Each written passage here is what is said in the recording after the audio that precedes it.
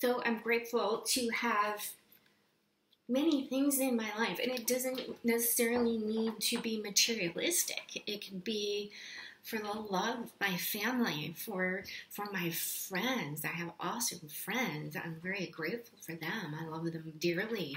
I'm grateful for the um, emotional support and encouragement that I get from my family and from my friends. I'm grateful for so much, and it's about tapping into those feelings and um, and having that take you through your day instead of dwelling on, ah, I'm so stupid, I still my dough. it makes your day a lot more pleasant, trust me. okay. Are there any other messages that you would like to get through to people today? Are there any other messages you would like to get through to people today? Back on the bottom of the deck. Ooh, Gaia. This is Earth Connection. Be mindful of the planet. Come back to Earth. Stay grounded. Be mindful of the planet. That's, that's a beautiful message. Think about the world we live in. Be thankful for the sunshine. Be thankful for the rain when you can. Um, there are areas of drought that need rain for crops and flowers. Be thankful for that rain because otherwise that corn won't grow. Or the wheat, or the soy that provides sustenance, right? So take good care of this. We need to take good care of this planet. Provides beautifully for us, so we need to, nourish it and take care of it. Be thankful for the gift that the um, the earth has given us. Really, quite honestly, I don't know how many people are, you know, thinking about that. And it's not just about trying to um,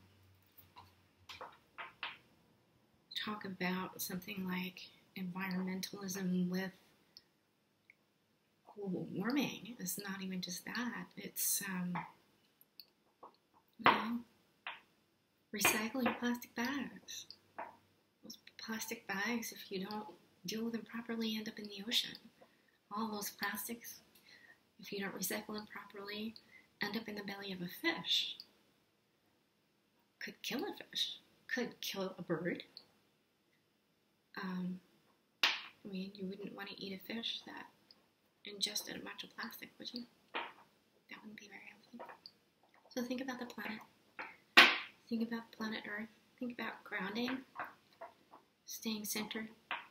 One of the best things to do, well, I wouldn't do it for very long, and it depends on where you live. If you go outside and you stand in the grass for a moment, it will help to keep you centered and grounded. I wouldn't do it for an extended period of time, but for a, a short amount of time, it's fine as long as mosquitoes aren't out. You don't get eaten alive. Put on your sunscreen and put on your bug spray, and then go down in in the grass so you can keep yourself safe. Um, connect with the earth and imagine that you have you're like a tree and you've got roots growing into the earth and you're connecting with uh, Mother Earth, Mother Nature.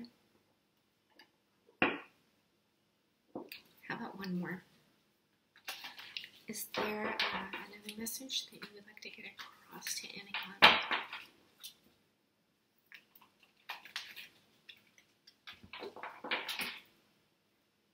let me look at the bottom again. Commander Ashtar. Call to action. Take charge, lead by example, and walk your talk. If you're gonna do the walk and you're gonna do the talk, you gotta be doing whatever, you know, the right thing. So if you're saying, for example, if you're talking about recycling, like you're a teacher or something, make sure you're actually recycling. I know the thing where I was living before, you had to actually take um, your recycling to um, a place for it to actually be recycled. And then I found out they weren't actually recycling what I was taking to them properly. And that was really, really, really frustrating because I took all of this time to organize the recycling. Here, we're back on that again.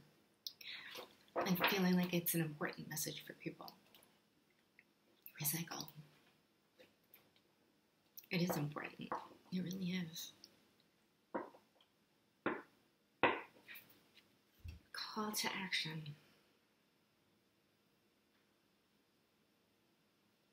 Take charge.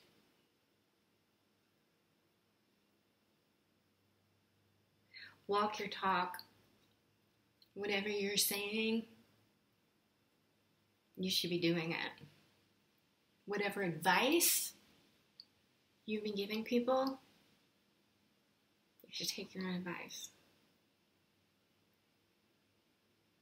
Right? Ooh, one more. They're telling me one more. So you're getting one more from the uh, Keepers of the Light. One more. What message do you want to get across to people today? Any other messages?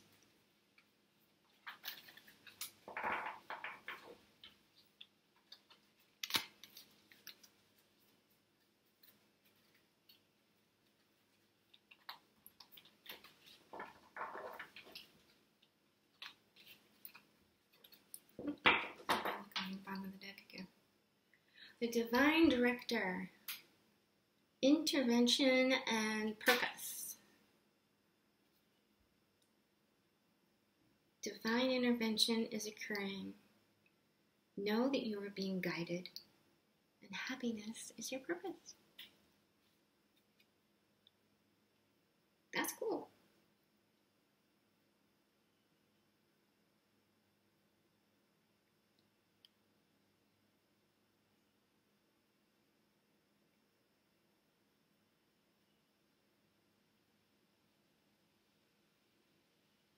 You know what's kind of interesting about this card as I look at it?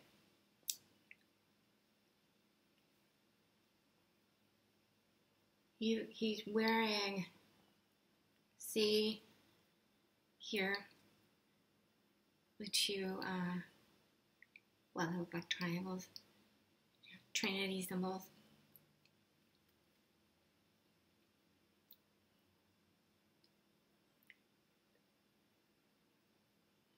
So, for someone, there may be an actual intervention to get you out of a bad situation.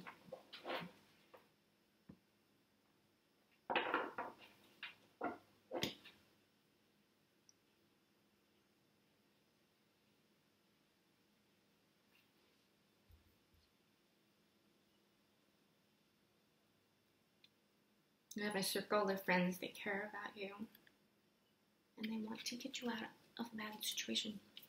So listen to them when they speak to you.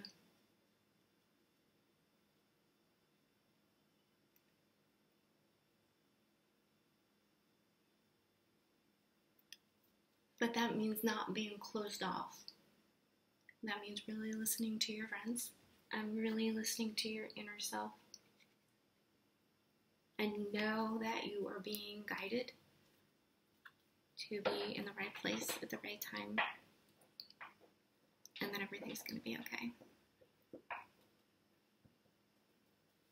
And listen to your gut. And if you don't feel safe, go somewhere where you do feel safe. Go to a public place, go to a coffee shop, you just hang out. Call a friend that you feel safe with and have a chat. And tell them what's really happening. And don't be scared. It's understandable. I know in some of the situations I was in, I was scared. Very scared.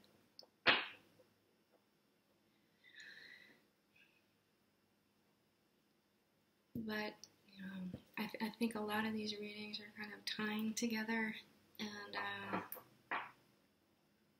you know, gather your, your inner strength, your take your power back, and do what's right for you, and that's important.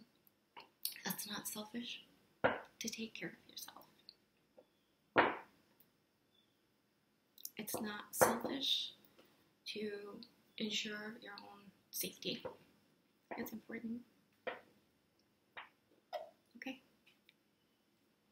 I hope this helps people uh, have a safe and happy Halloween. And uh, maybe I'll do some more of these readings again soon. Bye.